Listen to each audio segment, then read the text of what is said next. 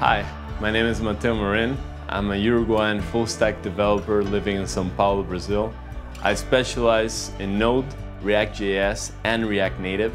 And in my favorite Toptal assignment, I ran the technology department for an early stage startup, taking care of everything from back-end development to front-end design and UX.